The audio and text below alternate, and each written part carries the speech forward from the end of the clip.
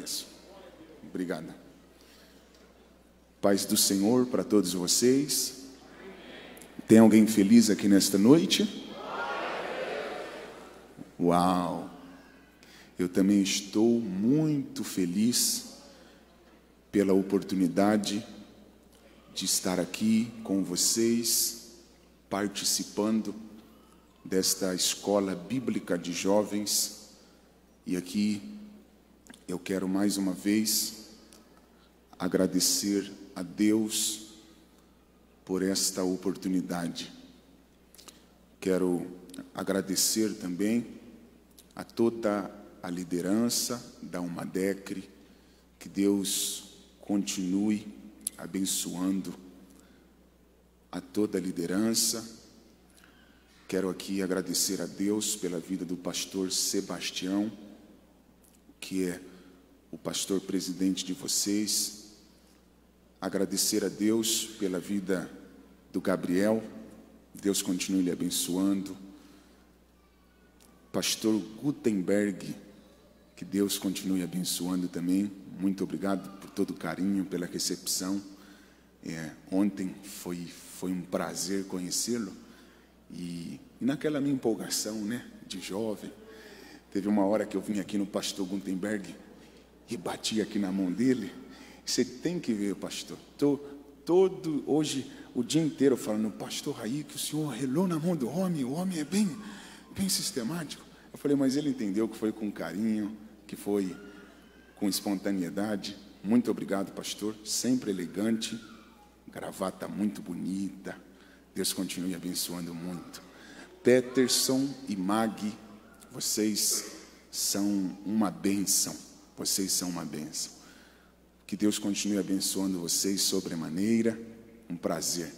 Angel, Deus continue lhe abençoando. Obrigado pelo carinho, pelas idas e vindas do hotel. Muito obrigado por ter ido nos buscar no aeroporto. Deus continue lhe abençoando muito. Evangelista Angel. Quem deseja ouvir a palavra de Deus? Nós, quem melhor, né? Antes de eu começar, quem esteve aqui ontem? Ontem. Levanta a mão só quem esteve aqui ontem. Aí, ok. Ontem o culto foi foi um culto muito bom. E para eu não não me estender muito no horário e acabar o culto tarde, é, nós ficamos só no primeiro versículo, né? Então hoje nós, como foi prometido ontem, nós continuaremos a mensagem de ontem. Então você que trouxe a sua Bíblia, eu quero pedir por gentileza para você abri-la no livro do Gênesis.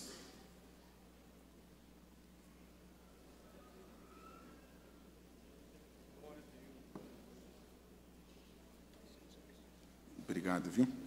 Se tiver quem é sem gelo, é porque eu estou vendo aqui, parece que ela está gelada, né? Porque eu fico com medo de eu de eu estar tá com a garganta aquecida e aí tomar gelado e travar, sabe? Se tiver natural, eu vou agradecer. Muito obrigado. É, Roberto, tecladista, Deus abençoe. Parabéns pelo seu talento. Você pode me ajudar como ontem, Roberto? É. Mais uma vez eu quero pedir gentilmente a você, não toca nada melancólico, tá? Porque eu sou sentimental, se você tocar melancólico, eu vou pregar chorando. Pastor Rogério acabou de chegar, eu estava aguardando ele chegar. Deus continue abençoando muito, muito, muito.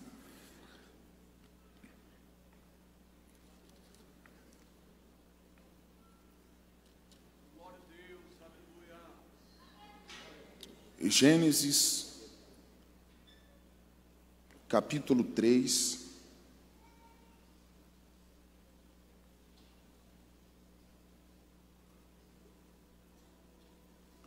Versículo 8. Enquanto o senhor não chegasse, eu não ia ler. Eu ia ficar aqui agradecendo até o senhor chegar. é, que eu falei que eu não ia pregar enquanto o senhor não estivesse aqui.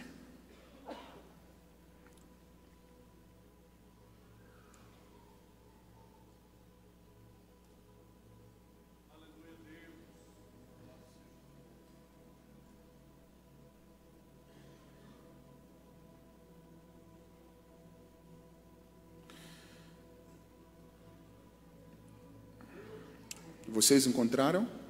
Gênesis 3, 8. E ouviram a voz do Senhor Deus que passeava no jardim, pela viração do dia. Escondeu-se Adão e sua mulher da presença do Senhor Deus entre as árvores do jardim.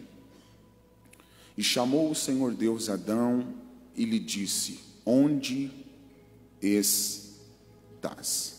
Muito obrigado, só até aqui é o suficiente. É, você trouxe o bloquinho de notas? Trouxe?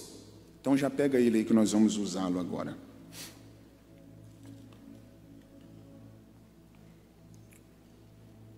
Anota no seu bloquinho. Do nada Deus pode fazer tudo. Que foi o versículo 1 que nós começamos ontem.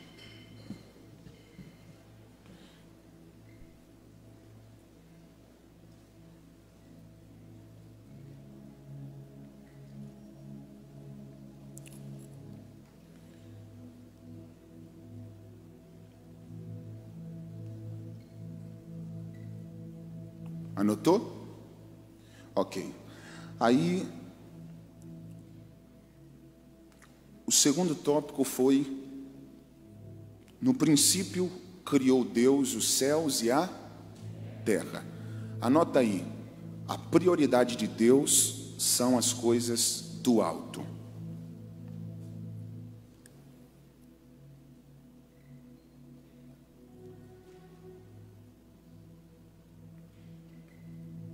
Eu só estou recapitulando para quem né, não pôde estar ontem, acompanhar a linha de raciocínio. Pastor, como assim? Do nada Deus pode fazer tudo. É porque no princípio não existia nada, aí Deus aparece criando. Era para vocês ter dado glória a Deus, mas deixa para lá. Aí, se você não dá glória, agora eu vou pular, hein? No princípio criou Deus os céus e a terra. Deus antes, se você não pegar que você está mal, Deus antes de fazer a terra, Deus fez os céus, porque Deus não começa embaixo, Deus começa em cima. Aí anota aí agora, anota aí agora. Deus criou três céus, ou existem três céus, né? Do jeito que você preferir. Aí coloca assim, ou número um, né? Número um, dois, três. Primeiro céu, se você quiser anotar, coloca atmosférico, que é onde os pássaros voam, aonde o avião sobrevoa.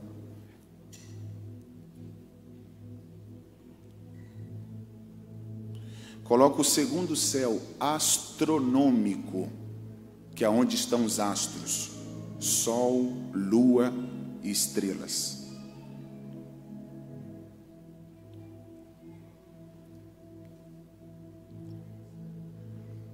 E o terceiro céu coloca céu dos céus, ou habitação do trono de Deus. Estou todo arrepiado, pastor Gutenberg, só de, de recapitular a aula de ontem. Pastor Rogério, meu amigo. Ô, ô, ô Peterson, se eu ficar sozinho não vai ser igual ontem. Vamos continuar? Então vem cá. Ó o Aleph, ó o Aleph. Aleph, o momento que eu mais que eu mais gostei da mensagem foi quando você veio aqui. Aí você assim, ó. Quando Deus tem plano, nem que ele tenha que criar cargo que não existe. Eu quase pulei lá naquela hora, ali. Vamos lá. Você quer ler na minha Bíblia, Pedro? Ó, gente, isso aqui é pérola, tá? Isso aqui não tem no Google, não. Então, eu só recapitulei o que nós falamos ontem. No princípio, criou, do nada Deus pode fazer tudo. Os céus e a terra, Deus começa em cima, a prioridade são as coisas de cima. Criou os céus, plural, não, não criou o céu, Deus criou os. No hebraico chama in, porque existe mais de um, existem três. Aí, Peterson, você com a sua voz erona, vai ler agora a primeira vez que o Todo-Poderoso falou.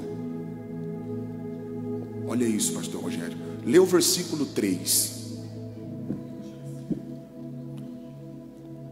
Eu preciso que o microfone. E disse Deus: haja luz, e houve luz. Uau! Não, lê mais uma vez. E disse Deus: haja luz, e houve luz. Como é o nome do secretário? Emerson, olha isso. Se ele não pegar, acabou. Essa luz não pode ser a luz do sol.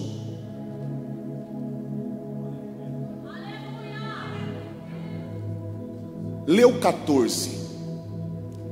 E disse Deus: haja luminares na expansão do céu. Opa, opa, peraí, peraí. Então Deus só cria o sol no versículo 14. Sim. Eu arrepiei. Pera, pera, pera, pera. Versículo 14, Emerson. Quarto dia. Se ele não pegar, nós vamos pular lá. A pergunta é essa: se Deus só criou o sol no versículo 14, que luz é aquela do 3 que Deus disse haja e ouve?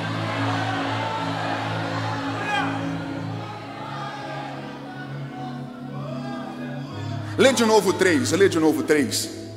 E disse Deus: haja luz, e houve luz. Só que o sol não existia ainda ali. Então a pergunta é essa: se vocês não dão glória, que vocês estão mal. Se o sol não existia ainda no versículo 3, que luz é aquela que Deus disse haja e ouve?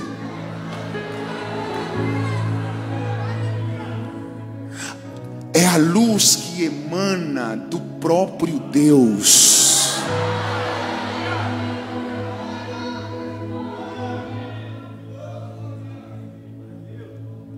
Lê Apocalipse 21, 11.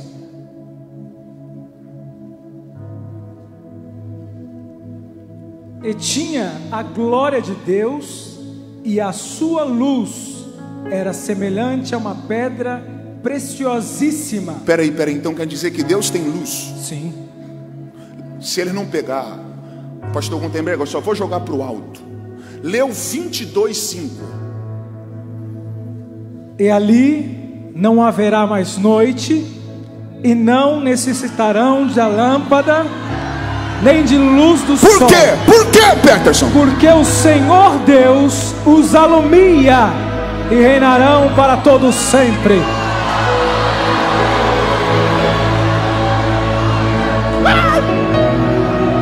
Então quer dizer que na Nova Jerusalém ou no paraíso não vai precisar de luz, de sol e também não vai precisar de candeia. Porque a Bíblia está falando que a luz do próprio Deus vai iluminar a cidade.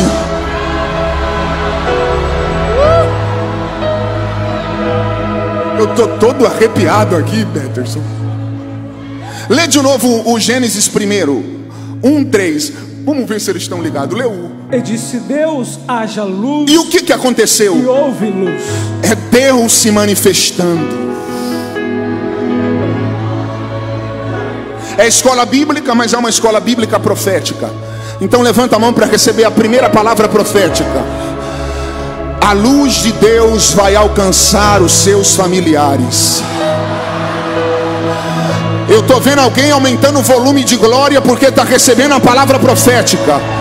Deus não vai perder a tua família para as trevas de jeito nenhum. Deus vai alcançar todas.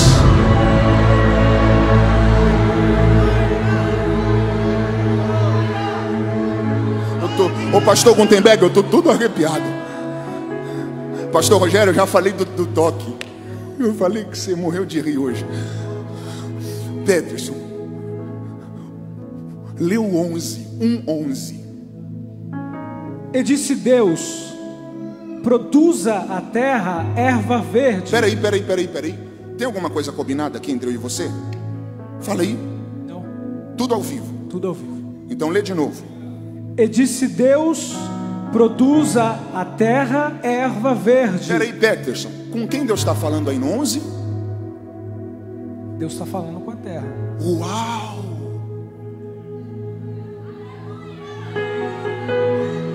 Então quer dizer que a voz de Deus é tão poderosa que até a terra dá ouvido para ela? Não, não, escreve aí no bloco, escreve aí. Deus falou com a terra. Ô pastor França, gostei dos seus olhos, cara. Olha isso aqui. Ô Pedro, se ele não pegar, acabou. De verdade, pastor Gutenberg. Se ele não pegar isso aqui, não adianta, eles não vão pegar mais nada, irmãos. Mais nada. Deus não criou as plantas diretamente. Gabriel, só entre nós. Deus não criou as plantas diretamente. Deus falou para a terra produzir. Porque na criação, pastor Gutenberg, Deus explorou o potencial de cada elemento.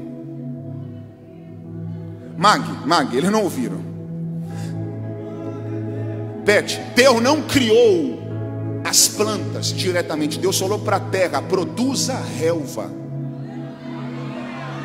Então não foi Deus que criou as plantas diretamente. Deus falou para a terra produzir. Porque na criação, alguém está falando aleluia, Deus foi explorando o potencial de cada elemento. Para que Deus vai criar as plantas se a terra pode produzir? Então Deus não vai fazer aquilo que eu posso.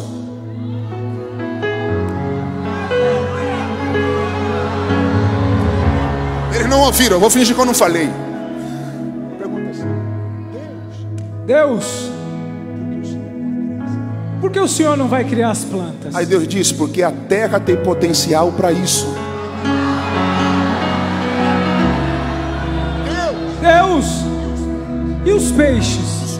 O Senhor vai criar? Deus disse: não, eu vou falar para os mares produzir segundo a sua espécie, Por quê? porque eles têm potencial para isso.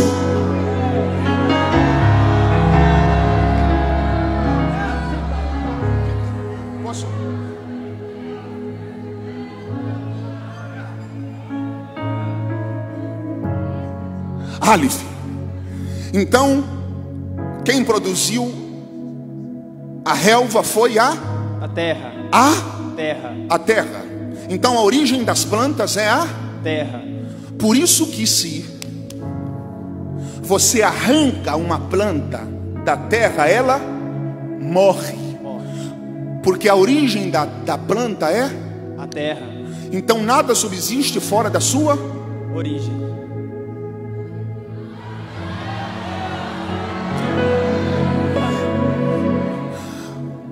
Deus falou para os mares: produza segundo a sua espécie. Você já viu um peixe conseguir viver fora d'água? Não. Porque ninguém subsiste fora da sua origem.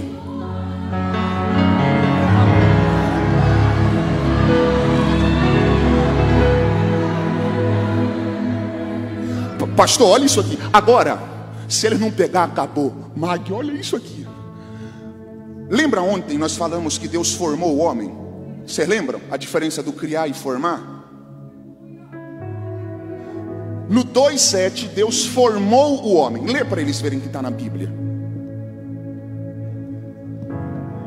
E formou o Senhor Deus o homem do pó da terra Ok, ok, ok. Então no capítulo 2, versículo 7, Deus formou. Porque quando Deus usou uma matéria-prima, Deus não pode criar, porque não se cria nada do existente. Você lembra ontem? Então vamos lá, no 2,7, Deus. Agora lê o capítulo 1, versículo 27. Pastor Rogério, se ele não pegar, era ele já estar anotando. E criou Deus o homem, Opa, opa, opa, opa. Lê de novo, 1, 1, 27. e criou Deus o homem, Peraí, peraí. Então no 2 Deus forma. No 1 um, Deus cria. Então quer dizer que antes de Deus ter pegado o pó para formar o homem, Deus já tinha criado? Não, eles não ouviram. Eu vou falar mais uma vez. Alif, olha isso aqui. No capítulo 2, Gabriel, Deus pegou o pó para formar o homem. Só que no capítulo 1, versículo 27, Deus já tinha criado o homem. Eu estou todo arrepiado. Aonde Deus formou o homem, Peterson? Quando Deus pegou o pó da terra. o pó. Então, pastor Gutenberg, aonde Deus formou o homem, todos nós sabemos. Mas a Bíblia diz que antes de Deus formar o homem, fazer o bonequinho, Deus já tinha criado o homem. Pastor Rogério, se Deus formou o homem no pó ou do pó, aonde Deus já tinha criado o homem? Pastor pegou, Peterson, estou todo arrepiado. Sabe aonde Deus criou o homem?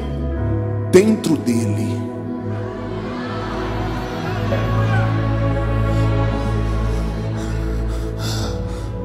Qual é a origem da planta?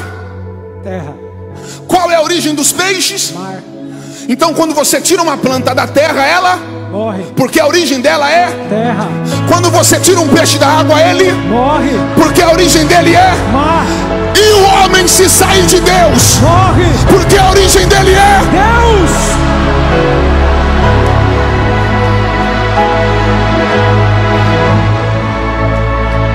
Eu vou deixar vocês da glória, depois eu conto.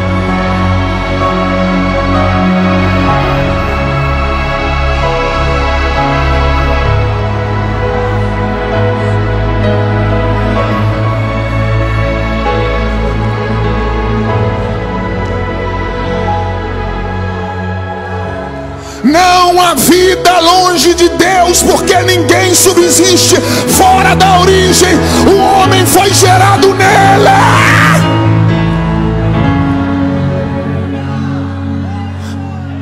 Anota no bloco, anota. Não tem vida longe de Deus. Coloca o homem não vive longe de Deus. Peterson, é tudo ao vivo. Se ele não pegar isso aqui, meu amigo. Abre em Atos 17, 28. Olha isso, Gabriel. Eita, ali é o Rafa, aqui é o Gabriel. porque nele vivemos e nos movemos e existimos. Opa, opa, opa, lê mais uma vez. Porque nele vivemos e nos movemos e existimos. Eles não ouviram, lê de novo. Porque nele vivemos, nos movemos e existimos. Enquanto eles não pegar, lê mais uma Porque vez. nele vivemos, nos movemos e existimos. Continua. Porque nele vivemos, nos movemos e existimos. Continua o texto. Como também Olha, pastor Gutenberg. dos vossos poetas disseram. Olha o que eles disseram, pastor Rogério. Pois somos também sua geração. Continua. Sendo nós, pois, geração de Deus, não havemos de cuidar que a divindade seja semelhante ao ouro, ou a prata, ou a pedra esculpida por artifício e imaginação aos homens? Porque nele vivemos, nos movemos e existimos. Porque os vossos poetas diziam: Vós não sois geração de Deus? Presta atenção. O homem foi gerado em Deus. Deus formou o homem no pó, só que antes de Deus formar, Deus já tinha criado. Aonde Deus criou? Dentro dele. E se você não pegar, agora eu pulo. Abre o Gênesis 2,7 mais uma vez. E formou o Senhor Deus, o homem do pó da terra, Aí o que Deus fez? e soprou em seus narizes. Peraí, peraí, o que Deus fez? Soprou em seus narizes. Por que Deus sopra? Porque Porque na- Deus, Deus tem que colocar. Deus tem que, ó, Deus está formando o homem. Aí Deus, depois que forma, ele sopra, porque Deus tem que colocar para fora aquilo que já estava dentro, aquilo que já estava criado.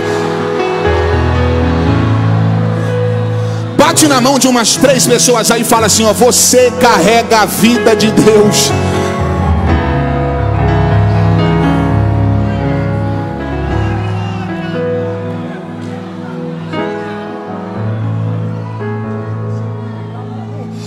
Para mim, Peterson. Nós estamos falando que o homem foi criado dentro De Deus. de Deus, dentro de Deus.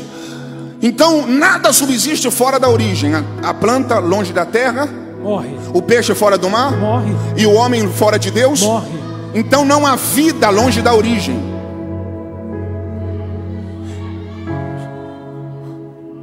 Sabia que tem pessoas aqui que não vivem? Tem pessoas que só existem.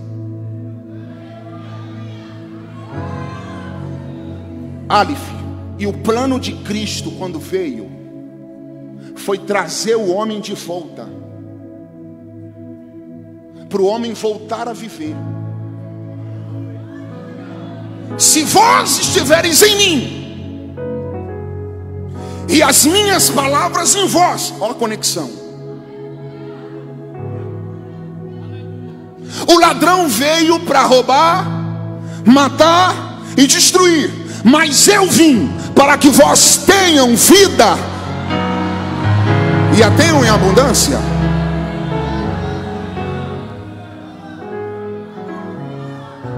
Então Cristo veio para o homem voltar a viver.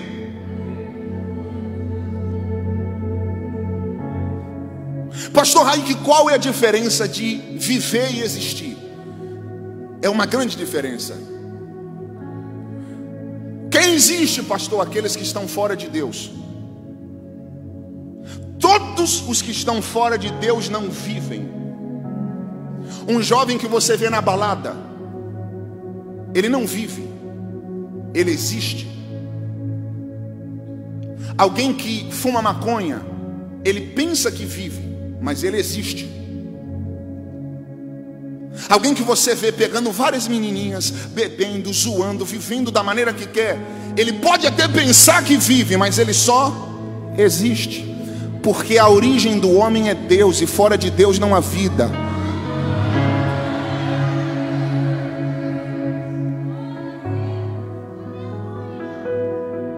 Agora, quando nós estamos nele, nós vivemos, nós encontramos vida. Quando uma pessoa levanta a mão para aceitar Jesus, alguém pensa, o fulano está vindo para Deus, isso aqui é para vocês da glória. Mas Peterson, pode ser a primeira vez que a pessoa entre em uma igreja. Quando ela levanta a mão para Deus, ela não está vindo para Deus, ela está voltando. Porque o homem não vai para Deus, o homem volta para Ele, porque o homem veio dele. Se ele não pegar, acabou.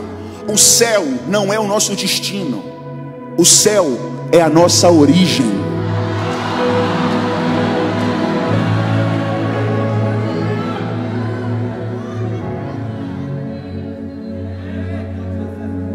Vamos continuar. Lê 1, 26.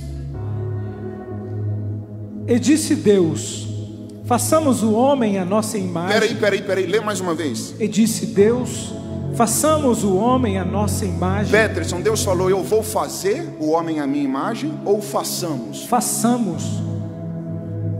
Essa expressão, essa conotação indica um diálogo. Então Deus não está sozinho aí. Não, não, não, vocês não ouviram. Deus não falou, eu vou fazer o homem à minha imagem, à minha semelhança. Deus falou, façamos o homem à nossa imagem, conforme a nossa. Peraí, peraí, peraí. Façamos conforme a nossa. Então quer dizer que está tendo uma conversa. Sabe entre quem é essa conversa? Se você não dá glória, agora eu acabo. Sabe quem que está conversando ali? O Pai, o Filho e o Espírito.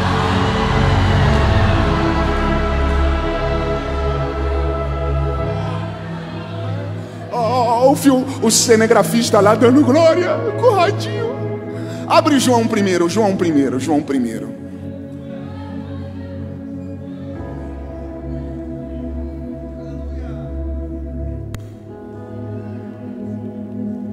João 1. Obrigado. No princípio era o Verbo, Ah, e o Verbo estava com Deus, ah, e o Verbo era Deus. continua. Ele estava no princípio com Deus. Opa, opa. João está afirmando que Jesus está em Gênesis.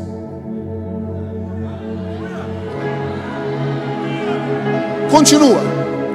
Todas as coisas foram feitas por Ele, Ah, e sem Ele, o quê? nada do que foi feito se fez. Então peraí. Ô pastor Rogério, pastor Gutenberg, é bom pregar para esses jovens. Só na Bíblia eles dão glória. Então João está afirmando que o filho está no capítulo 1 de Gênesis. Agora a pergunta é essa: aonde Jesus está lá que o nome dele não aparece?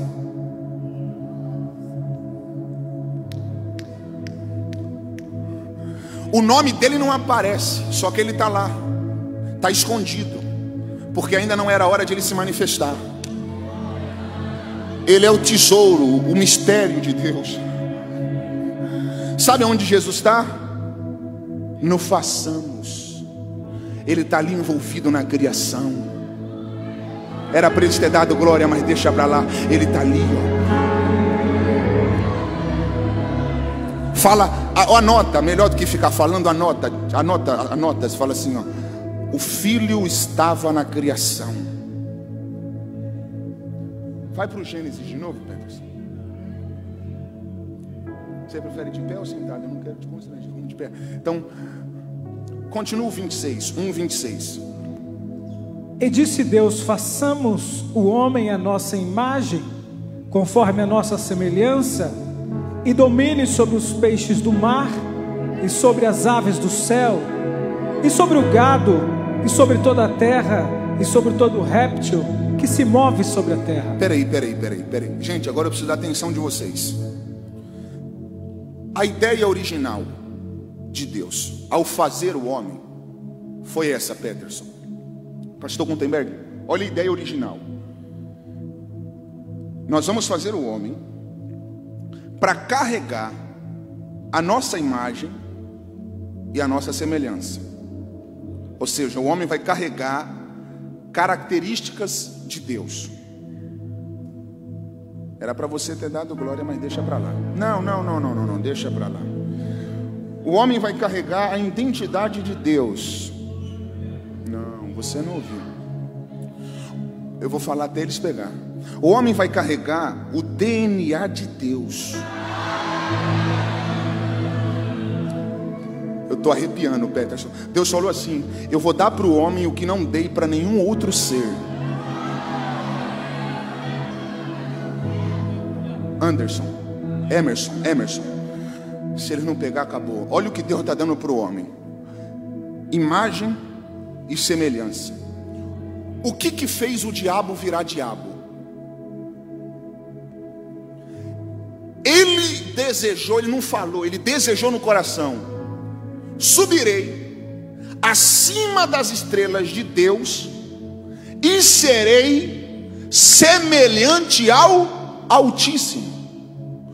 Quando o anjo que nós conhecemos como Lúcifer ou Satã, quando o diabo propôs essa ideia de rebelião no coração, de subir acima das estrelas de Deus, estabelecer o trono dele e ser semelhante ao Altíssimo, Deus falou: tchau, você nunca foi, não é e jamais será a minha semelhança. Agora o que eu não te dei, eu vou dar para o homem.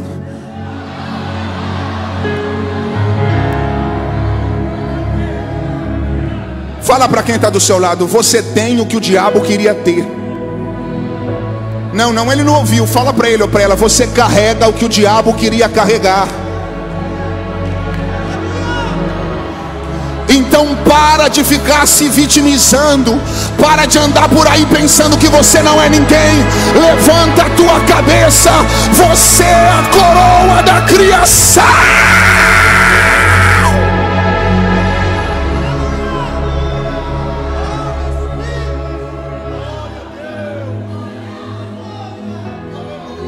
Peterson, continua o 26, lê mais uma vez. E disse Deus: façamos o homem à segurando, nossa a imagem, tô- conforme a nossa semelhança, e domine sobre os peixes, Olha, olha isso, pastor Gutenberg. Eu estou vendo que o senhor, só de olhar dá para ver que o senhor é águia. Ó, o ref, se ele não pegar perto, só acabou, Mag. O reflexo do homem carregar a imagem e a semelhança vai ser notificada ou autentificada, autenticada no poder de domínio. Isso aqui, isso aqui não tem no Google não. Pode colocar lá que essa você não vai achar. Pastor, aonde eu sei quando alguém carrega a identidade de Deus? Quando ele pula? Não. Pastor, quando eu sei que a pessoa é imagem e semelhança? Quando ela marcha? Também não. Qual é o nosso conceito? Eu estou falando no nosso meio pentecostal. Claro que tem um pentecostalismo clássico, que é o bíblico, poder gerado pela palavra, que é o que nós cremos.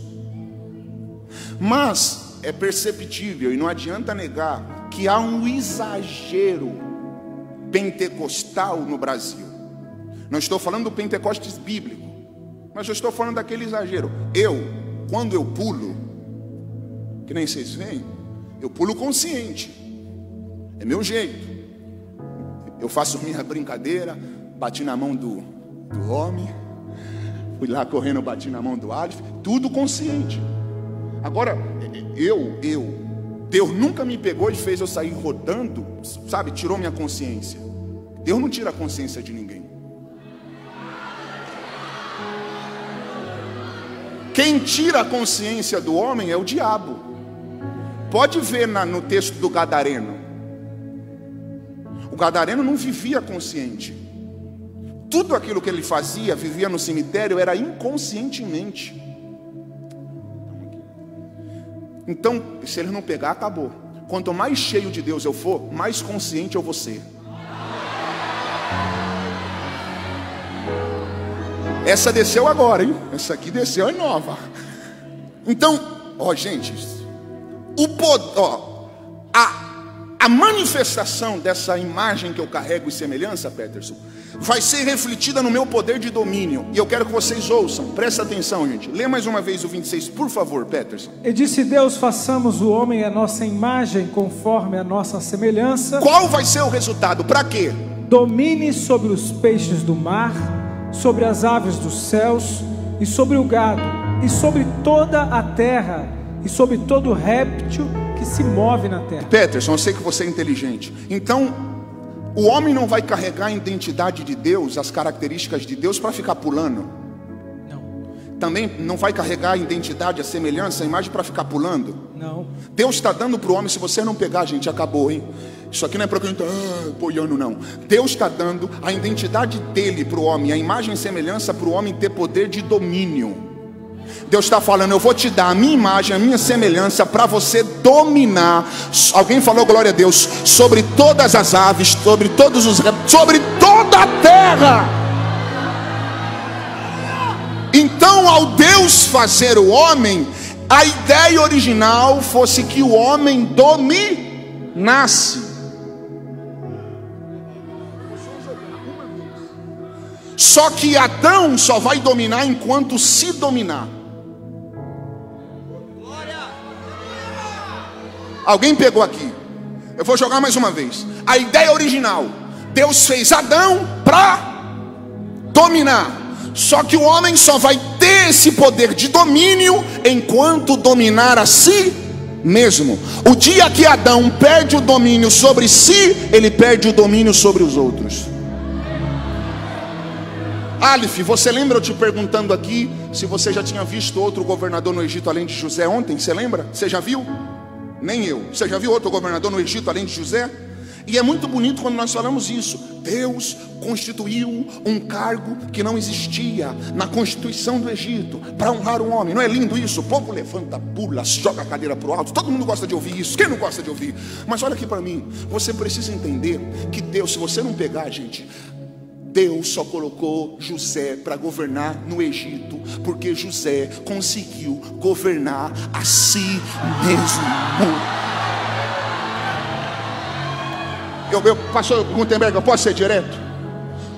Um homem que não se governa, não merece governar nada. Pastor, aonde José se governou? Vocês lembram quando a esposa de Potifar deu em cima dele? Aquela mulher era endemoniada, gente. Não, e tem gente que pensa que a esposa de Potifar era baranga. Gente, eu não sei se existia maquiagem na época, não sei, mas eu estou conjecturando. Ela era como se fosse uma primeira dama da época. Imagine como ela andava arrumada. Imagine como ela era atraente aos olhos humanos. E falando numa linguagem humana, humana. José tinha todas as razões, repito, humana, para ficar com aquela mulher. Como assim, pastor?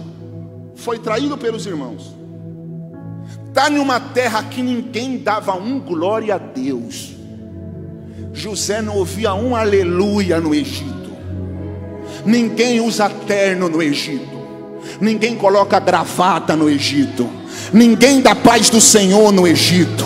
Ninguém faz leitura da Bíblia no Egito. Ninguém respeita a santidade de Deus no Egito, afinal das contas, eles não acreditam em Deus. José, em uma terra estranha, longe da família, frustrado como pessoa, tem todas as razões para falar: já que eu estou longe, já que eu fui traído, já que eu estou aqui num lugar que ninguém serve o mesmo Deus que eu conheço, eu vou seguir esse caminho, mas não, ele se governa. Quando, olha aqui para mim, quando você aprende a se governar, você entra no plano original. Ninguém, olha aqui para mim, ninguém, ninguém consegue viver na plenitude de Deus se não aprender a falar não para si mesmo. Eu sei que muitos jovens se espelham em mim.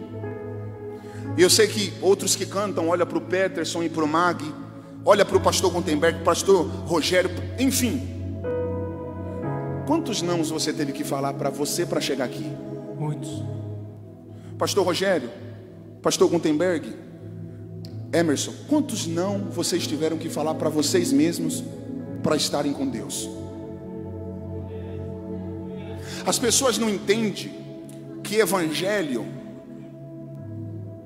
é vencer a si mesmo. Porque aquele que quiser vir após mim, negue-se a si mesmo. Fala não para si. Tome a sua cruz e siga-me. Olha aqui para mim, ninguém consegue viver, ninguém consegue viver no plano original se não aprender a falar não a si mesmo. Talvez você só não chegou longe porque você não aprendeu a falar não para você tudo que vem na tua cabeça você pega e faz. Pastor, eu posso ser bem direto, muito direto. Talvez venha na sua cabeça, eu vou assistir um vídeo pornográfico. Ao invés de você lutar contra o pensamento, você vai no celular, vai no notebook e coloca. Não falou não para si. Talvez você está, ah, pastor, eu tenho que, que, que, começar a cantar ela, eu tenho que falar com ela. Na hora que é para você falar não para si, você vai no WhatsApp e fica conversando, menininha, para conversar. Fica lá se enfiando em rolo que você não precisaria se enfiar. Na hora que está tendo o culto, ao invés de você se ligar, eu vou me alinhar com o céu, eu vou ser cheio do Espírito Santo. Aí você usa o seu tempo para ficar cantando os outros na igreja, para ficar fora da igreja beijando nos muros. Você precisa aprender a falar não para si mesmo. Se você recebeu o que eu vou te falar, aproveita para glorificar. Todas as vezes que um homem fala não para si mesmo, para agradecer a Deus e agradar a Ele, Deus olha para esse homem e diz: Receba o meu sim, vai que a minha bênção te alcança.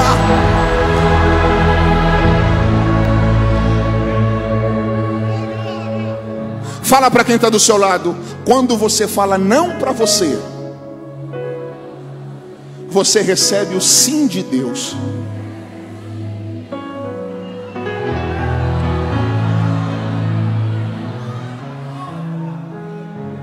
Peterson, então a imagem e semelhança era para o homem governar.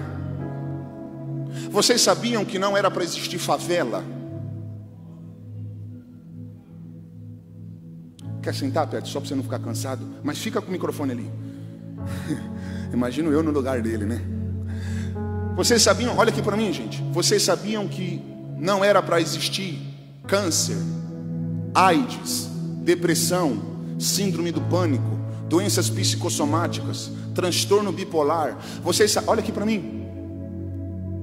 Vocês sabiam que não era para o homem morrer? Se você quiser escrever isso, pode escrever. Deus não fez o homem para morrer. Adão era imortal.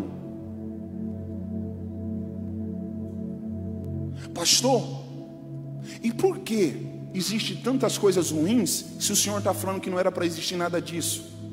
Porque o salário do pecado é a morte. Pastor Gutenberg, Pastor Rogério, eu creio que Deus prova, Rangel. Eu creio que Deus prova. Só que eu não creio em um Deus que quer ver o filho dele sofrendo para sempre. Eu, eu, lendo a Bíblia num todo, eu não acredito que Deus tem prazer em ver um filho dele sofrendo. Para que, que Deus prova alguém? Para ensinar algumas lições para esse indivíduo, ok? Deus te prova para te ensinar algumas lições que talvez você não aprendeu na escola. Porque às vezes quando você cresce muito, você fica prepotente. Aí Deus fala: vou apertar ele um pouquinho, vou colocar ele no deserto para ele abaixar a bola. Para ele entender que a glória é minha e eu não divido a minha glória com ninguém. Então eu creio nisso.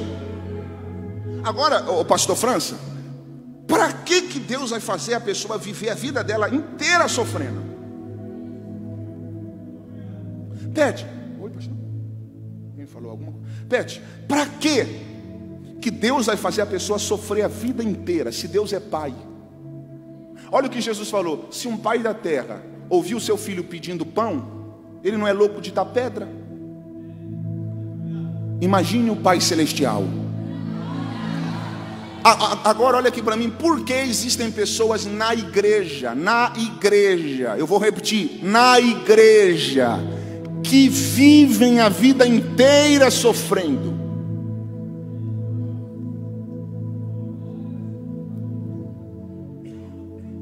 Olha aqui para mim. É porque muitas pessoas vivem na igreja, mas não vivem no plano original. Ninguém, olha aqui para mim, ninguém que entra no plano original de Deus, que é um plano de plenitude, um plano de governo, um plano de domínio, vive a vida inteira sofrendo. Deus dá para essa pessoa autoridade, sabedoria. Deus entra na mente dessa pessoa, faz ela pegar o pouco, do pouco fazer muito, faz essa pessoa prosperar. Porque quando alguém está no plano original de Deus, ele recebe o poder de domínio, autoridade de domínio. Então aqui está a explicação. E olha aqui para mim, talvez ninguém da tua família conseguiu dominar, mas eu estou profetizando em nome de Jesus que essa maldição vai ser quebrada em você. Não é porque todo mundo da tua família não conseguiu dominar, não conseguiu se sobressair, não conseguiu se tornar um empresário, não conseguiu se tornar alguém né, com poder de domínio, que você também será um fracassado, falando de poder econômico, de, de terra. Eu vim como profeta hoje aqui lhe dizer: Deus tem o maior prazer sim em te abençoar, Deus tem o maior prazer sim em abrir as portas para você, mas para que isso aconteça, Ele te quer alinhado no plano dEle.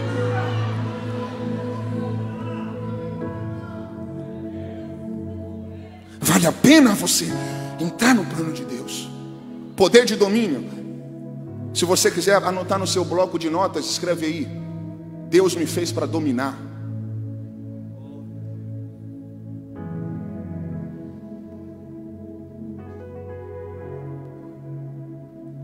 Deus não te fez para sofrer. Deus não te fez para viver a vida inteira enfrentando problemas que podem ser solucionados sim, se Ele te dá a sabedoria e a autoridade. Eu só estou me segurando aqui, gente, porque ontem, né, eu fiquei só em um versículo. Aí hoje eu, eu não posso me soltar muito aqui, senão daqui a pouco eu estou ali falando guitarrista tocar guitarra e já, entendeu? Aí, eu estou me controlando aqui. Já já vai voltar uma hora mesmo. Então nós estamos ainda 8 e 18, ó, tá cedo pra caramba. Peterson, se ele não pegar isso aqui, meu amigo. Leu 2:8. Nós vamos ver a casa que Deus fez para o homem morar. E plantou o Senhor Deus um jardim no Éden. Opa, opa, opa. Lê de novo isso aí. Fica de pé, agora eu preciso. Não, agora, agora eu preciso. Aqui, aqui que eu queria chegar. Isso não tem no Google, viu, pastor Rogério? Pode colocar lá. E plantou o Senhor Deus um jardim no Éden, Aonde? no Éden, Aonde? no Éden. Lê de novo. E plantou O Senhor Deus um jardim no Éden. no. Éden. Então não é jardim do Éden. É jardim no Éden. Porque o Éden nunca foi daqui. Não, não, não, não, não. Vocês não ouviram. Lê mais uma vez, Peterson. E plantou o Senhor Deus um jardim no Éden. Então não é jardim do Éden, é jardim no Éden. Por quê, pastor? Porque o Éden nunca foi daqui. Por que, que Deus expulsou o homem do Éden? Para ele não comer o fruto da árvore da vida. Deus falou: Eu vou expulsá-lo, porque se o homem comer o fruto da árvore da vida, ele vai morrer. Então Deus só colocou Adão e Eva fora do jardim para eles não comerem o fruto da árvore da vida. Peterson, abre em Apocalipse 2:7. Qual era a árvore que Deus não queria que Adão chegasse perto? Qual era a árvore? Árvore da vida. Adão comeu, olha aqui para mim, gente. Adão comeu o fruto do conhecimento. Mas Deus expulsou ele do Éden para ele não comer a árvore da vida, porque se ele comesse nunca mais ele ia morrer. Deus falou: Vou te expulsar, você não pode ficar aqui, porque senão você vai comer essa, esse fruto. Aí Deus colocou querubins, espadas inflamadas, protegendo o caminho da árvore. Ó, ó, olha aqui, Peterson. A árvore da vida estava na casa de Adão. Agora lê Apocalipse 2,7. Quem tem ouvidos, ouça o que o Espírito diz às igrejas. Ao que vencer, dar-lhe-ei a comer da árvore da vida, que está no meio do paraíso de Deus. Pegou aqui o Emerson. A pergunta é essa: como que a árvore que estava na casa de Adão está lá no céu esperando a igreja? É porque o Éden nunca foi daqui. Lê Apocalipse 22, 14. Bem-aventurado aqueles que lavam as suas vestiduras no sangue do Cordeiro, para que tenham direito à árvore da vida e possam entrar na cidade pelas portas. Tem pastor de pé aqui, tem jovem de pé na galeria. A árvore que estava na casa de Adão está em Apocalipse esperando a igreja. Por quê, pastor? Porque o Éden nunca foi daqui, sempre foi de lá.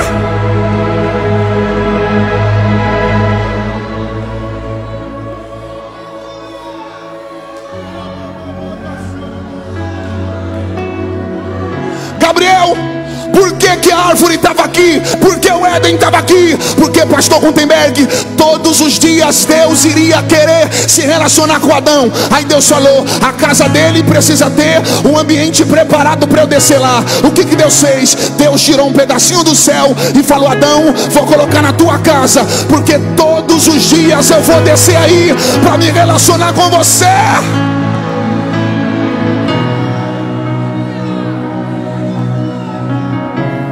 Fala para quem está do seu lado: o Éden não é daqui. Fala, o Éden sempre foi do céu. Fala, é por isso que a árvore até hoje existe. Porque as coisas de Deus não têm prazo de validade.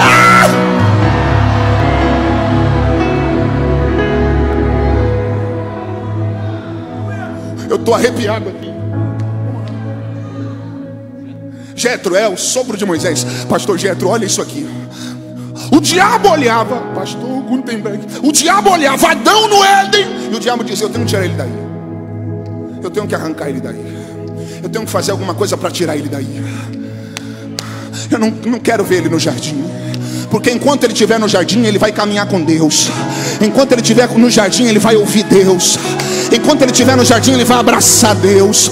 Enquanto ele estiver no jardim, ele vai ter relacionamento com Deus. Aí pede, o que, que o diabo faz? Luta para de todas as maneiras arrancar o homem do jardim. E aí o homem saiu do jardim porque pecou. Depois do pecado, a culpa caiu para a mulher. Aí Todos os homens judeus diziam assim: o homem só perdeu o Éden por causa da mulher. A culpa foi de Eva. Por isso que quando Deus vem no jardim, Adão fala: a culpa não foi minha, foi a mulher que tu me destes. No Antigo Testamento, nenhum judeu queria ter mulher. Abraão recebe uma promessa que anima ele. Deus falou: Eu vou te dar um filho. Deus não falou uma filha. Ana vai para o altar e não pede uma filha. Ana vai para o altar e diz: Deus, se o Senhor atentar para o coração da tua serva e me conceder um filho, porque a mulher no Antigo Testamento era inferiorizada. Por quê, pastor? Pela queda do Éden. Depois que Adão caiu e saiu do jardim, todos sempre diziam: o homem só perdeu o jardim por causa da mulher. A mulher sempre foi um plano de Deus. Quando Deus colocou a mulher do lado de Adão, Deus falou: Eu vou colocar do seu lado, Adão, uma disjuntora, uma amiga, uma conselheira. Se o plano de Deus era que a mulher estivesse do lado do homem, o que, que o diabo vai tentar fazer? Inverter o plano de Deus, falar para o homem que a mulher é um problema na vida dele, uma pedra no sapato dele. Aí o diabo tentou ridicularizar o plano de Deus, falando que a mulher era um problema. Deus não ia deixar isso de jeito nenhum, nenhum. Deus não ia deixar isso é, sem resolver. Deus falou: Olha lá, o diabo entrou, bagunçou a família e colocou a culpa na mulher. E agora o homem todo dia diz que só perdeu o jardim por causa dela. Agora o homem só pensa que saiu do Éden por causa dela. A mulher recebeu a culpa. Deus falou: Eu vou ter que arrumar um negócio, porque a mulher é o meu projeto. Eu vou ter que colocar as coisas em ordem, porque a mulher é o meu projeto. Aí Deus disse: Se ele não pegar, acabou. Aí Deus disse: O homem só perdeu o jardim por causa da mulher. Então olha o que eu vou fazer. O anjo aparece para Maria e diz: Maria, se o diabo usou uma mulher para o homem sair do jardim, vai ser no teu ventre que o Espírito vai gerar a semente que vai levar o homem para o jardim de novo.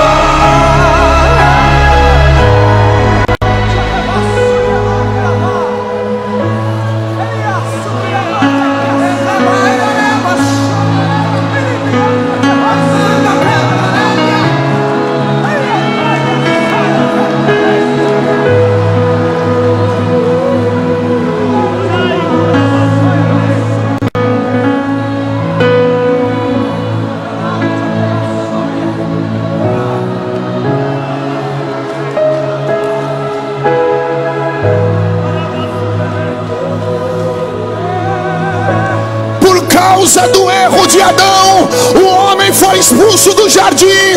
O homem perdeu o jardim. Por causa da humildade de Jesus, o jardim veio para o homem.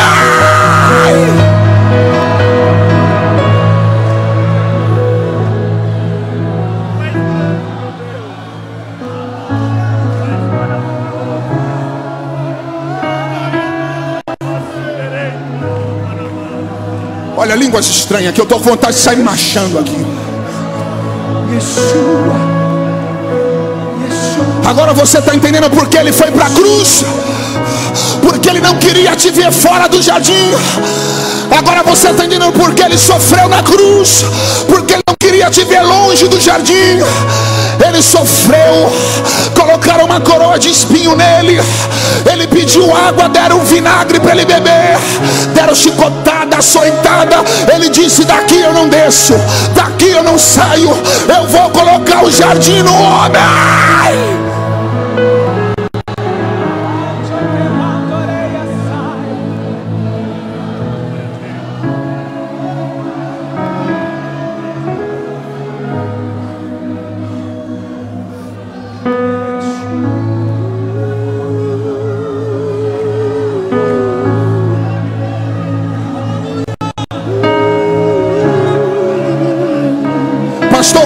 Olha que unção.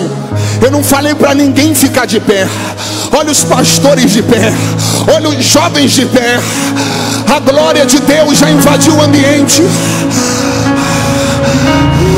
Deus vai te reerguer nesta noite. Olha, olha, olha o Breno chorando. Olha o Emerson chorando. Olha línguas estranhas.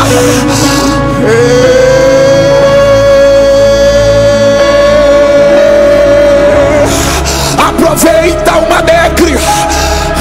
Recebam, recebam a glória, a glória. Ele te levanta, ele te ergue, ele te coloca de pé.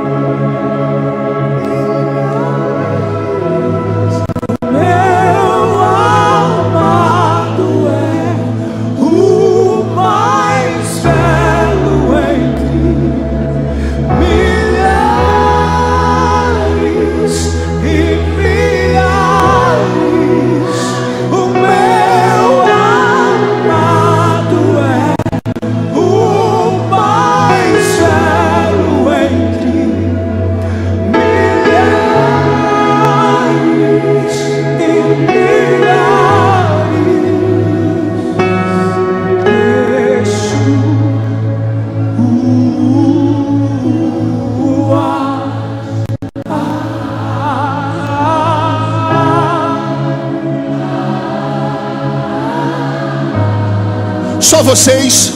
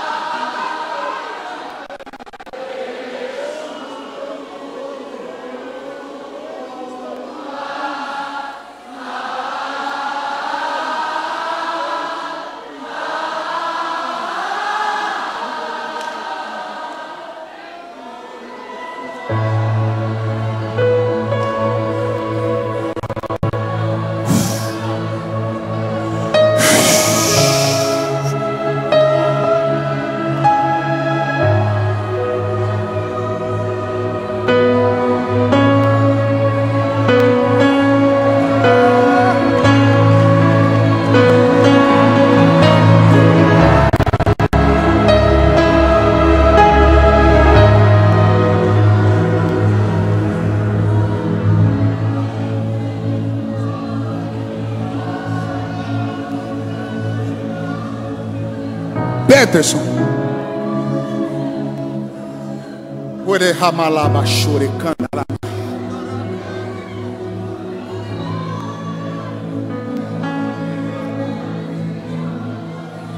Adão caiu. Os seus olhos foram abertos.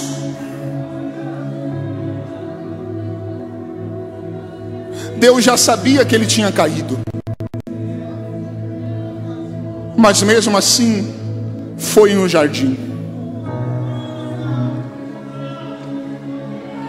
Peterson leu 3, 7. Então foram abertos os olhos de ambos, e conheceram que estavam nus, e coseram folhas de figueira, e fizeram para si aventais. E ouviram a voz do Senhor Deus. Opa, opa, opa. Se não pegar, acabou. Olha isso, pastor Gutenberg. Você está falando que os olhos de ambos foram Abertos. abertos. Eles não estão mais na inocência. O homem já está caído. Lê o 7 de novo.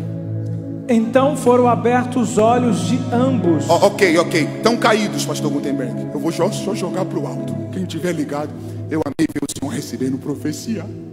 Eu creio. O 8. E ouviram a voz do Senhor Deus. Peraí, peraí, peraí, peraí, Peterson, Peterson. Eles estão caídos. Ele pegou. Lê de novo o 8. E ouviram a voz do Senhor Deus. Peraí, peraí, pera. Isso aqui é pérola. Como que caídos eles ouvem? É porque quem um dia ouviu,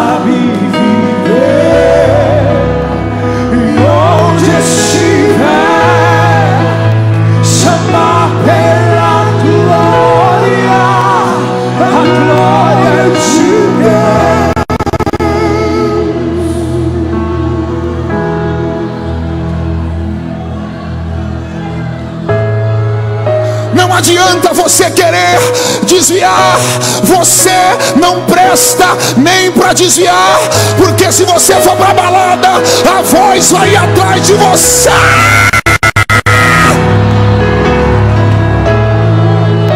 Segura na mão de quem está do teu lado, olha aquilo ali, Olha isso aqui, pastor Gutenberg. Pega na mão de quem está do teu lado, pega.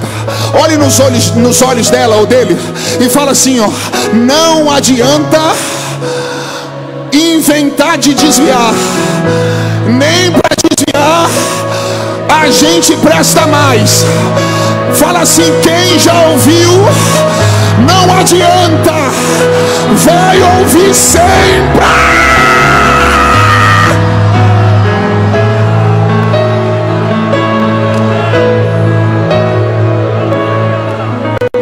Gutenberg é a voz, que é a voz, é a voz, é a voz que vai atrás, é a voz, é a voz, é a voz. Não adianta, você pode beber, a voz vai atrás, você pode fumar, a voz vai atrás, você pode ir pro baile, a voz vai atrás, a voz jamais vai te abandonar.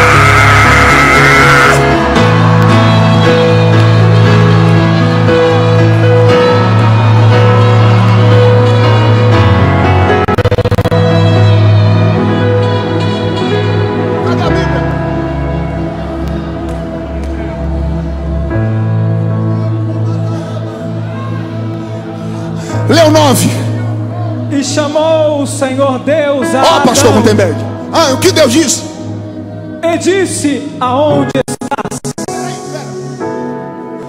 Deus sabe aonde Adão está, sim ou não? Sim. E por que Deus está perguntando?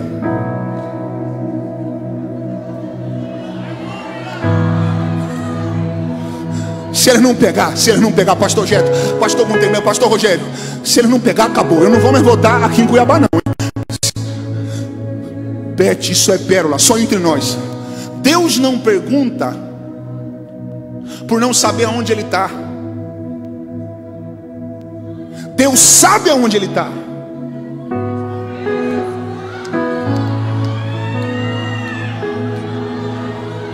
Quando Deus pergunta, na pergunta Deus não revela, eu não sei.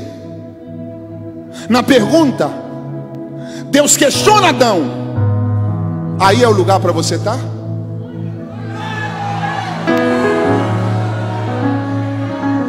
Quando Deus pergunta, Adão, aonde estás? Deus está questionando ele.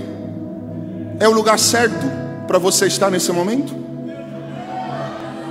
Quem tem que olhar se está no lugar certo é Adão.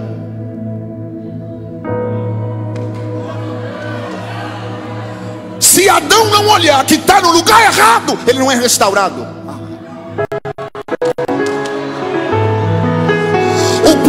Só é restaurado quando olha que está no lugar errado. Quando você identifica que está em um ambiente que não é para você, você procura caminhos para ser restaurado. Pastor Gutenberg, o pródigo perdeu tudo: perdeu dinheiro, perdeu amigos, só não perdeu o caminho de volta para casa do Pai, porque ele sabia o caminho. Peterson.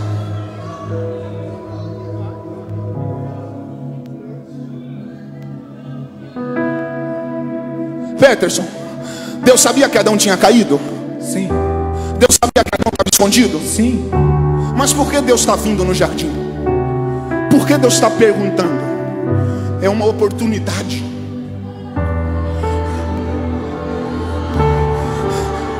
E nessa oportunidade Deus está demonstrando amor.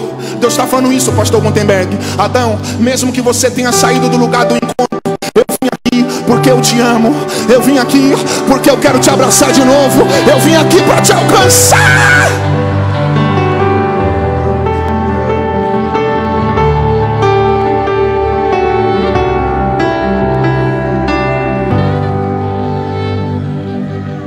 Antes de eu falar, tu cantava sobre mim.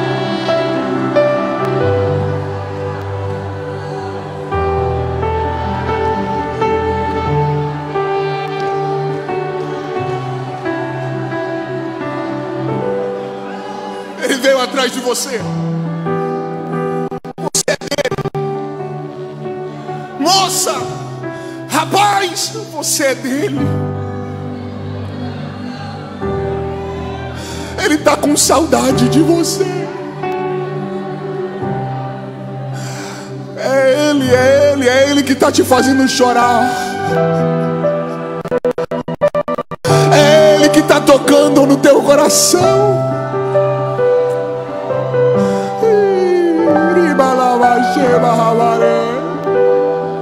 É o teu Pai. É o teu Pai. Aonde está a primeira pessoa que quer voltar para Ele? Vem aqui na frente a primeira pessoa que quer voltar hoje para Deus na galeria aí atrás, nos corredores, corre. Aonde está a primeira pessoa que quer voltar? Voltar para Ele. O Pai está te chamando. Aonde está a primeira pessoa? O Pai está com saudade de você.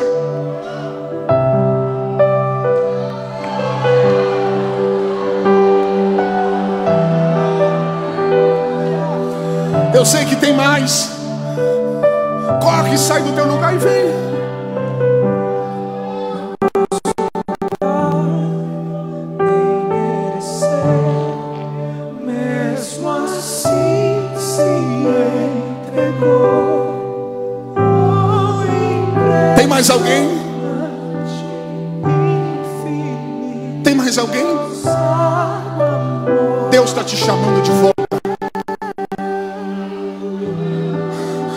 Acabou de quebrar correntes ali agora. Está vindo mais uma jovem chorando.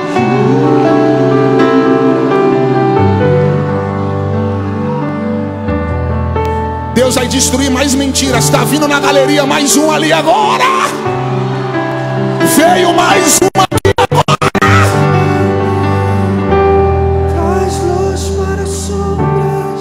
escapa Olha, olha aquele jovenzinho. Esses eu vou descer para abraçar.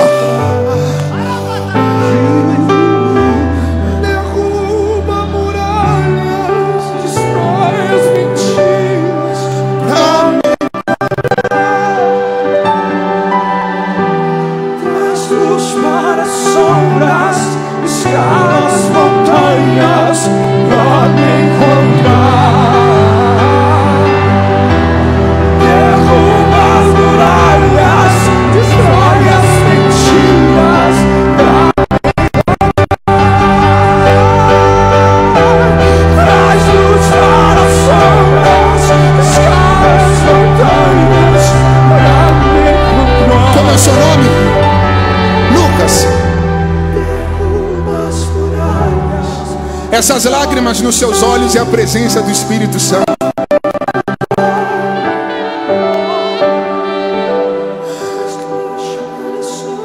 Você foi escolhido por Deus. E através da sua vida, Lucas, Deus vai transformar a tua família. Muitas pessoas te veem no dia a dia e não sabem. Deus me revela agora que tem muitas coisas que já aconteceram no meio da tua família e até hoje acontece que te machuca muito por dentro. Mas ele hoje te chama de volta porque através da tua vida ele vai salvar a tua família.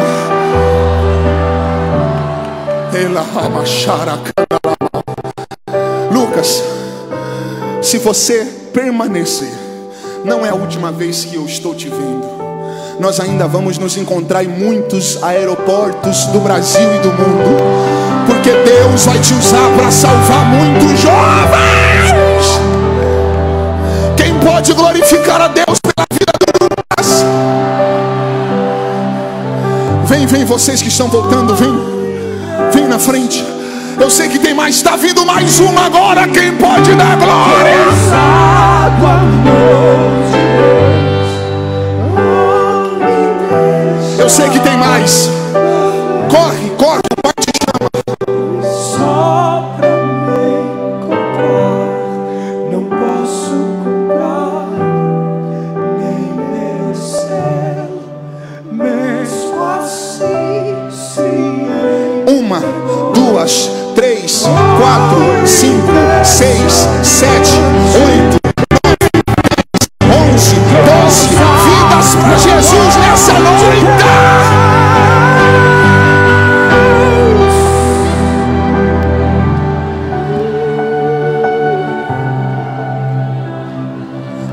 décimo terceiro? O Pai te espera de braços abertos. Onde está o décimo terceiro? Coragem, coragem, coragem. Deus te pergunta, Adão, aonde estás? Vem porque eu quero te abraçar. Sai desse esconderijo porque aí não é o teu lugar. Volta para os meus braços. Cadê o décimo terceiro?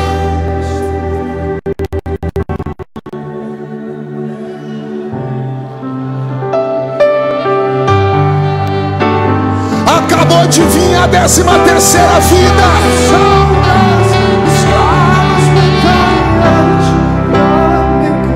Cadê o décimo quarto?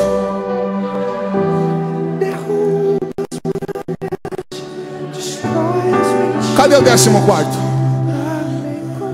O céu está te esperando aqui. Pastor, eu tenho medo de não conseguir. Não é na tua força. Tu és profeta, tu és levita, é Deus que vai te sustentar.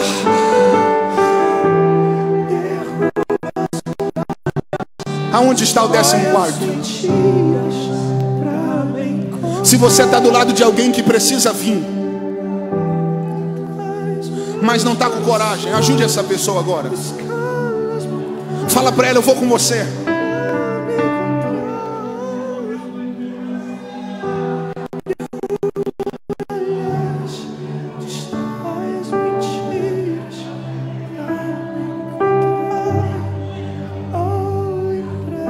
Vamos à igreja cantar pela última vez o refrão.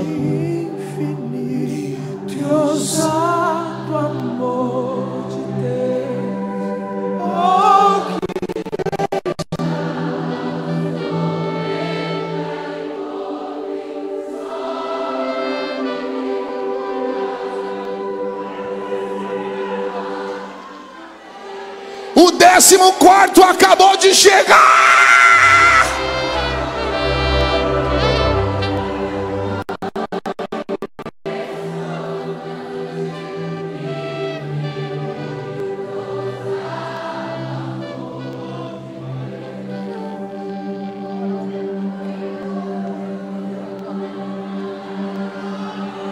Quem pode glorificar o nome do Senhor?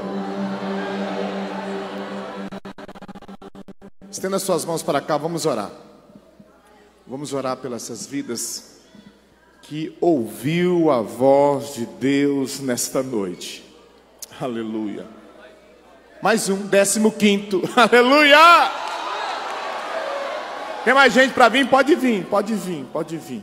Aleluia. Aleluia, aleluia. Tem mais alguém para vir? Aleluia. Quero convidar aqui o evangelista Jeto para fazer essa oração. E antes dele orar, eu quero agradecer a Deus pela vida de cada um de vocês. Agradecer a Deus pela vida de cada líder de mocidade, cada líder de regional. Isso é uma resposta de Deus para nós, que vale a pena a gente se esforçar pela unidade. Quem é exaltado é o eterno. Amém?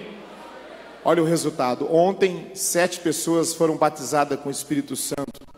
E outras aceitaram a Jesus. Hoje, várias estão aceitando a Jesus. Tudo isso para a glória e louvor do nome dele. Jeto. Glórias a Deus. Vocês estão voltando do lugar errado para o lugar certo. Glórias a Deus. E papai tem andado novo, roupa nova e sandália nova para dar para cada um. Amém? Oremos, Senhor meu Deus, meu Pai celestial. Orabaço, terei, tarabaço. Ó Deus, aqui estão os teus filhos, meu Deus, que mesmo estando em um lugar errado, mas o Senhor fez com que eles ouvissem a tua voz. Eles reconheceram, meu Deus, o seu estado de calamidade espiritual e ouviram a tua voz e atenderam o teu chamado. Deus, recebe-os de volta, perdoa suas falhas, suas fraquezas, reescreve os seus nomes no livro da vida, fortalece, Senhor, a cada um, dá um novo cântico na sua boca e firma os seus pés sobre a rocha. É o que nós pedimos e por fé te agradecemos. Amém. Volte cada um para o seu lugar.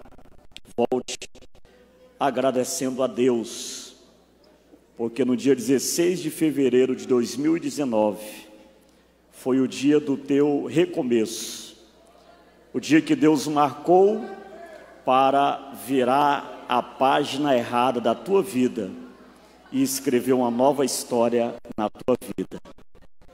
Aleluias. É bom estarmos aqui, né, jovens? Todos estão felizes? Glórias a Deus. Se a EBJ, pastor Rogério, fosse mais dois dias, eu acredito que os jovens iam aumentar mais o número ainda, né? Glórias a Deus. Os resultados são resultados espirituais. 18 almas retornaram à casa de papai. Se fosse apenas uma, já teria valido a pena, mas foram 18. Aleluias. Há uma grande festa no céu nesta noite. Glórias a Deus. Todos estão alegres, felizes, agradecidos. Aleluia. Nós queremos também expressar a nossa gratidão e a nossa satisfação em estar aqui nesta noite. E estamos também alegres e muito felizes, porque Deus está no nosso meio.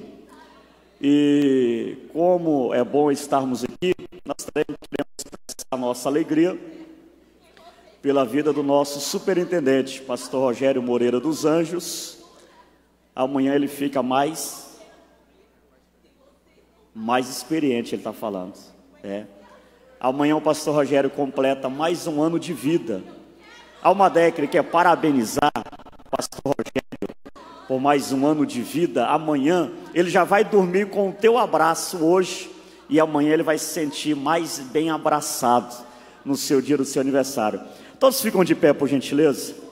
Nós vamos agradecer a Deus pela vida do nosso pastor, pastor Rogério Moreira dos Anjos superintendente da Madec. E antes, nós queremos convidar o presbítero irmão Hermes, secretário da Almadecre. Ele vai entregar, entregar às mãos do pastor Rogério uma pequena homenagem, viu, pastor? É, o apóstolo Paulo em Colossenses fala que nós devemos ser agradecidos. E o nosso desejo também, desejo da diretoria da Almadecre, de toda a juventude, é que nunca falte óleo sobre a tua cabeça e que tuas vestes continuem resplandecendo na presença de Deus. Saca a foto lá de cá.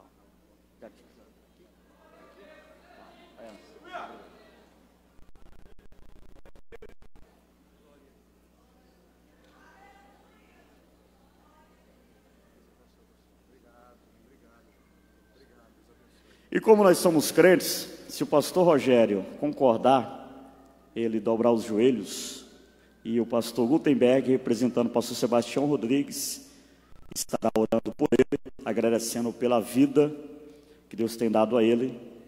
E Deus faz me sentir, pastor Rogério, que tem um mistério nesta oração. Paz do Senhor, irmãos. Antes da oração, nós queremos agradecer ao pastor Kaique, em nome do nosso presidente, Deus abençoe os cantores. Deus abençoe a Madecre, todos esses jovens e a coordenação por este lindo trabalho que tem glorificado o nome de Jesus. Vamos orar pelo pastor Rogério, para que o Senhor continue lhe dando a graça, a direção e o dinamismo para estar à frente desse grande trabalho. Se você puder levantar a sua mão direita em direção a ele, vamos orar por ele nesta noite. Senhor nosso Deus, nosso Pai, queremos te louvar, Senhor, e te agradecer, Senhor, por estarmos na tua casa e continuamente, Senhor, na tua presença. Nesta noite, Senhor, sendo alvo mais uma vez da tua palavra, a tua palavra que nos edifica, Senhor, que nos conforta, que nos exorta e que nos dá a direção correta. Pai Santo, nós te pedimos pela vida do teu filho nesta noite, Senhor, a quem tu tens levantado, Senhor, para estar na direção Ó Pai, desse grande trabalho, Pai Celestial, que Tu possas, Senhor, dar-lhe, Senhor, aquilo que o seu coração deseja, segundo a Tua santa e perfeita vontade, abençoando a ele, Senhor, a sua família e o ministério que Tu tens colocado nas suas mãos. Pai Celestial, que tudo seja para glorificar o Teu nome. Eu te peço a Tua bênção, Senhor, sobre nós, a Tua igreja, Pai. Em nome de Jesus nós te agradecemos. Amém. Eu só tenho a agradecer a Deus por tudo, porque eu estar aqui é um milagre. Amém, irmãos? E quero pedir, antes de nós passar de volta ao pastor Gutenberg para nos empreitar a benção apostólica, que todos os líderes aguarde dois minutinhos só, nós temos um, um documento a passar para cada um de vocês. E mais uma vez informar, essa camiseta é, a, é o nosso uniforme para a nossa 38ª confraternização.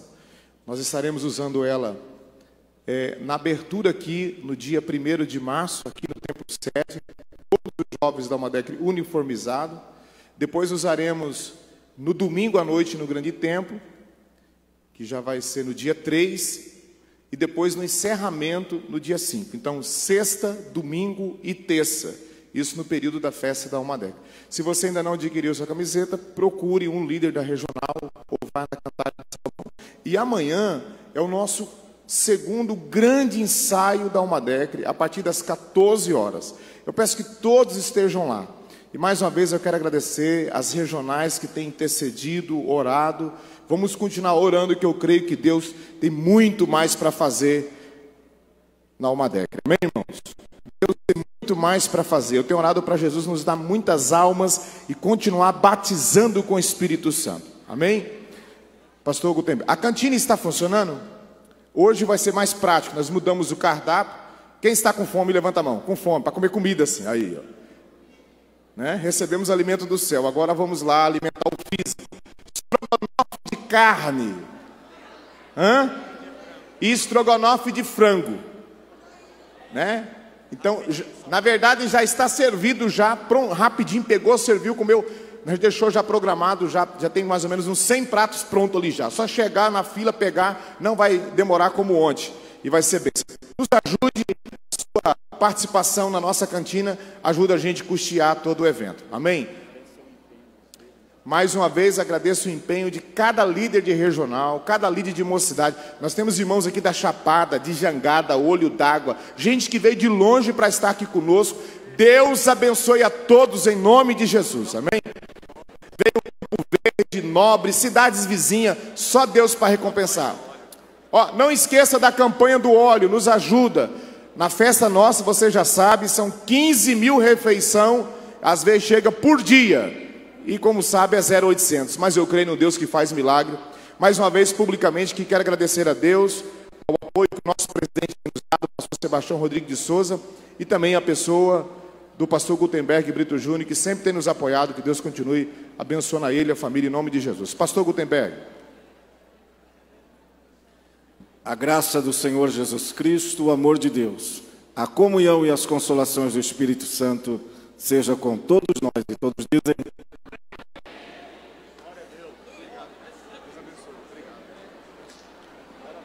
Amém. Obrigado. Amanhã? Amanhã. Dia 17. Deus abençoe você. Obrigado. Pastor Raíque, muito obrigado. A dupla, Petro e Mike. Irmãos, nós vamos ver se nós conseguimos trazer o Petro e o Mike para uma década. Tentando aqui ver se consegue. Ó, lá fora já tem a voz e o violão e tem lá comida para todo mundo. É só 10 reais. E amanhã às 14 horas, ensaio da UMADEC no Grande Tempo.